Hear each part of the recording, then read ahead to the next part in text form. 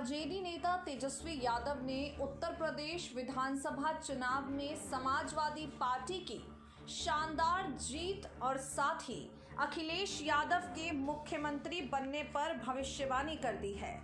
बिहार विधानसभा में नेता प्रतिपक्ष की भूमिका निभा रहे तेजस्वी यादव, अखिलेश यादव के साथ वैचारिक समानता और पारिवारिक संबंध रखते हैं। अखिलेश यादव के परिवार में तेजस्वी यादव की बहन की शादी हुई है।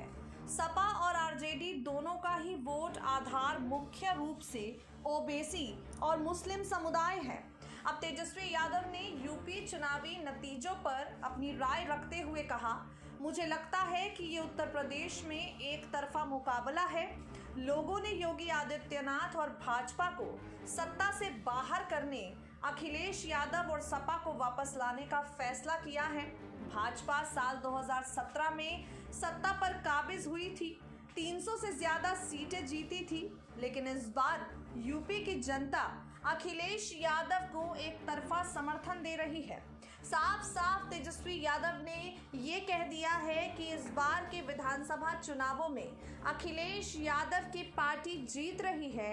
यूपी में पूरी तरह से समाजवादी पार्टी की जीत होगी। समाजवादी पार्टी एक तरफा इस मुकाबले में जीत जाएगी। खैर, आपको बता दें 10 मार्च को चुनावी नतीजे आएँगे और तब पता चल जाएगा तेजस्वी यादव की भविष्यवाणी सच होती है या नहीं।